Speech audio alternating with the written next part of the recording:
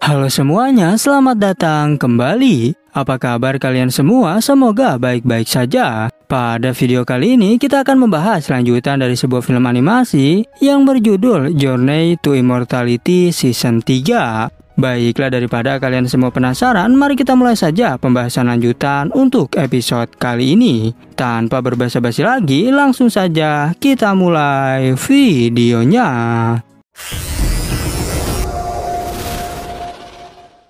Cerita ini berlanjut, kita diperlihatkan Hanli yang berhasil diteleportasi ke level berikutnya. Di sana juga terlihat para kultivator yang sudah berkumpul. Di antaranya terdiri dari kelompok tetua Jin dan kelompok Wan Tianming. Sesampainya di sana, Hanli bertemu dengan Suan Gu yang telah tiba lebih dulu. Dan ia berpikir jika dirinya adalah salah satu dengan tingkat kultivasi terendah. Begitu pula dengan Yuan Yao yang terus menatap ke arah Han Li.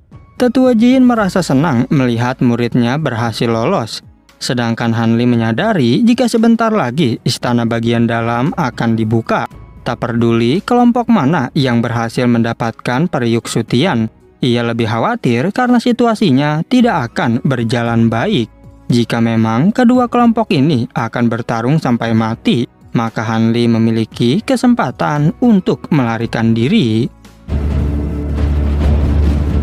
无论最终哪一派成功取敌， 也就我们几人了，倒是有脱身的机会。 Kemudian muncullah menara void istana bagian dalam. Melihat hal itu membuat Manhuzi menjadi tertawa. Dan ia berkata jika sebelumnya istana bintang sudah melakukan banyak ikut campur, tapi sekarang mereka benar-benar tidak akan datang ke aula bagian dalam. Manhuzi mengajak Wan Tianming untuk bertarung dengannya. dan siapa pun yang kalah maka tak boleh masuk ke dalam. Lalu Wan Tianming menjawab, apakah kau pikir aku takut kepadamu? Lagi pula, kita harus menyimpan kekuatan untuk mengambil periuk sutian. Mendengar hal itu, Manhuzi menjadi sangat kesal. Namun tetua Jin berkata jika kita akan bertarung setelah mendapatkan periuk tersebut. Tapi bagaimanakah caranya untuk memutuskan urutannya? Wan Tianming tak peduli lagi pula kita sudah hidup selama ratusan tahun. Menurutnya lebih baik Jin tak perlu berpura-pura. Lagi pula hanya orang yang paling kuatlah yang mampu mendapatkan periuk sutian. Adapun pertarungannya itu pasti akan terjadi cepat ataupun lambat, sehingga tak perlu terburu-buru untuk melakukannya. 看来他们是真的不会来了。真以为万某怕你不成？ 二人，我在此较量一番。就别在这儿故作姿态了。方儿，不过这顺序， Setelah itu, Wan Tianming mulai mengeluarkan kekuatannya. Sedangkan Manhuzi berkata, jika seperti itu, kita akan menunggu sampai mendapatkan periuk sutian. Maka setelahnya, barulah kita akan bertarung satu sama lain. Tak berselang lama, seorang pria dan Yuan Yao segera memasuki portal di sana. Namun, Manhuzi menjadi kesal melihat kelakuan mereka berdua. Sehingga ia pun segera menyerang ke arah mereka. Pria tersebut langsung tewas di tempat, sementara Yuan Yao berhasil memblokir serangan itu, sehingga dirinya dapat masuk ke istana bagian dalam.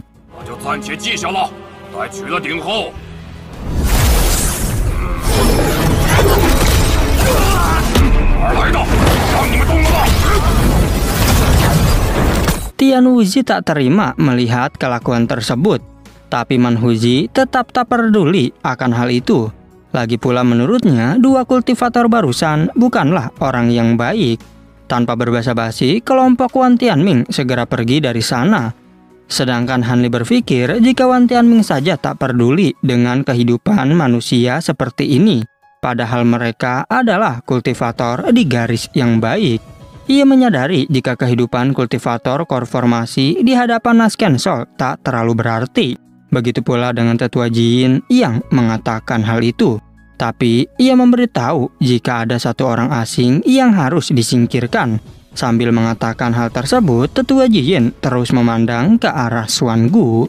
Namun Manhuzi bilang jika dia punya hubungan dengan diriku, karena dia adalah keturunan dari senior yang pernah berbuat baik kepada aku, sehingga tak seorang pun dari kalian yang boleh menyerangnya.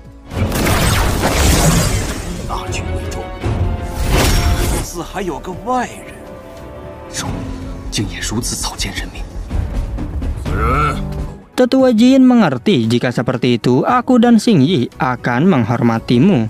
Namun ia tak menyangka jika Manhuzi adalah seseorang yang mengingat kebaikan di masa lalu.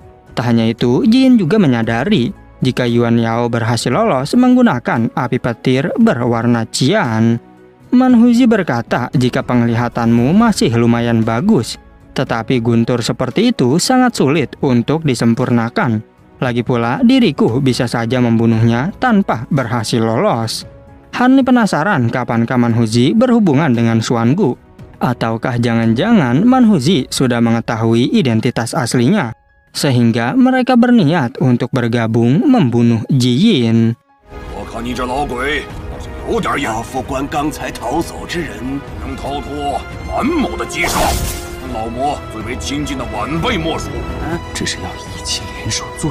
Tak berselang lama, tibalah mereka di dalam labirin Istana Sutian.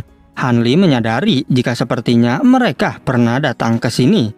Oleh karena itu, ia harus mengingat jalan untuk melewati labirin ini. Karena jika tidak, dirinya tak akan bisa melarikan diri. Benar saja, Hanli mulai menandai beberapa pintu labirin. Tapi Manhuzi memberitahu jika kau tak perlu melakukan hal itu. Karena nanti aku sendiri yang akan membawa kalian keluar dari sini. Manhuzi menegaskan jika kalian tak ingin mati, maka jangan berpikir untuk terbang. Karena tempat ini memiliki batasannya sendiri. Sementara tetua Singyi mulai mengeluarkan burung spiritual untuk mencari jalan keluar.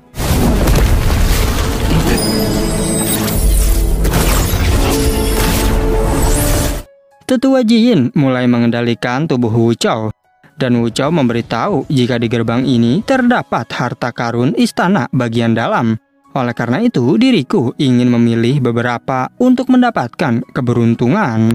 Ia juga menegaskan jika kultivator di ranah konformasi seperti kita hanya bisa mencoba peruntungan di lantai ini karena lantai yang lainnya mungkin akan membuat kita masuk hanya untuk mati. Hanli penasaran petunjuk apakah yang diberikan oleh Jin kepada Wu Chao. Karena Wu Chao yang saat ini bagaikan orang yang berbeda. Lagi pula, jika dia ingin membunuhku, maka pasti dirinya tak akan melewatkannya. Hanli bertanya jika perkataanmu memang benar. Bukankah hal itu justru membuang kesempatan yang bagus jika kita tak dapat menemukan jalan masuk ke dalamnya? Wu Chao berkata jika kau benar juga karena diriku memang memikirkan hal tersebut. Tetapi setelah kita berhasil mengambil harta karun itu, maka akan tersebar. 我呢，我也想挑一些试试，不知道金银老魔给吴丑暗示了什么。就只能在这一层试试捡宝了。但进去取宝成功后，岂不是浪费了天大的机会？ Hanli menyadari jika barusan ada transmisi otomatis. Wu Chou mengatakan bahwa sebagai senior, aku akan menjagamu dengan baik. Namun tiba-tiba saja beberapa labirin mulai berputar membentuk sebuah pintu. Bahkan kini mereka semua berada di sebuah tangga berjalan untuk mencapai lantai atas. Tetapi Manhuzi seketika itu juga melompat menuju bangunan yang ada di sana. Sedangkan Hanli bertanya-tanya tingkatan apakah sebenarnya yang dimiliki oleh Manhuzi. Dirinya juga berpikir jika sebenarnya Manhuzi bisa melawan seorang kultivator di tahap Naskensol yang lebih tinggi. Manhuzi terus melompat ke setiap bangunan dan menyebabkan kerusakan di sekitar tempat itu. Dan tanpa diduga muncul sebuah artefak berbentuk bulat di hadapan Hanli. Hanli dan yang lainnya juga hanya bisa menyaksikan perbuatan yang dilakukan oleh Manhuzi.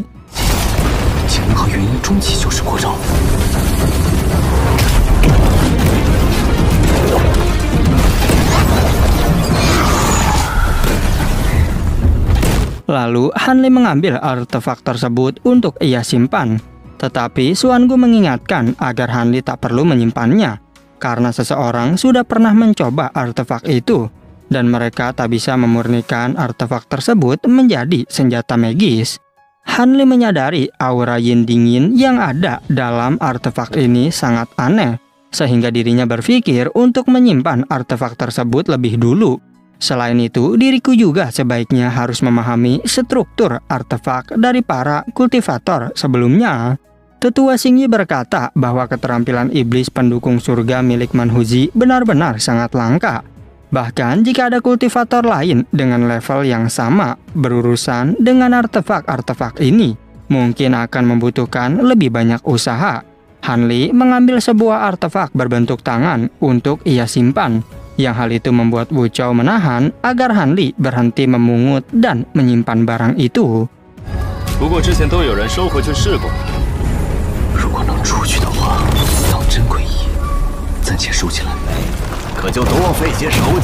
Wu Chao mengatakan jika seperti itu dirimu bisa mengambil semuanya, kemudian kita pergi dari sini. Di tempat lain terlihat Tuan Tianming yang mengeluarkan artefak penciptaan Tianji yang mana artefak tersebut berubah menjadi sebuah portal dan membawa mereka keluar dari sana. Tetua Xingyi penasaran metode apakah sebenarnya yang digunakan oleh Wan Tianming. Karena dengan metode itu mereka bisa melaju dengan cepat melampaui kelompok kita. Dirinya menegaskan agar sebaiknya kita juga mempercepat langkah kita. Manhuzi mengatakan biarkanlah mereka. Lagi pula, untuk mendapatkan periuk sutian itu sangatlah sulit. Dan jika kita tak bisa melampaui kelompok Tianming, maka sepertinya ini bukanlah kemenangan kita. Satu jam kemudian, labirin di sana mulai bergerak untuk menutupi jalan mereka.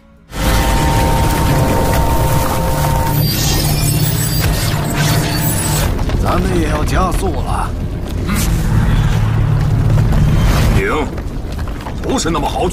Tanpa diduga, muncul sebuah kadal raksasa di hadapan mereka semua. Kemudian, tetua Singyi menjelaskan bahwa kadal ini kelihatannya cukup sulit untuk dihadapi, sehingga diriku menyarankan agar kita bekerja sama untuk mengalahkannya. Karena hal ini juga bisa membuat kita menghemat kekuatan dan waktu yang kita miliki. Tak banyak berpikir, Manhuzi pun segera mengeluarkan kekuatannya untuk menyerang kadal tersebut. Namun ternyata kini justru datang kadal lainnya yang menghampiri mereka. Hal itu membuat tetua Singyi dan tetua Jiyin bergegas melancarkan serangan untuk membantu Manhuzi. Serangan dari mereka mampu membunuh para kadal raksasa tersebut. Sementara di sisi lain, kelompok Wan Tianming telah sampai di depan formasi Periuk Sutian. Mereka bertiga pun segera pergi untuk melanjutkan perjalanannya.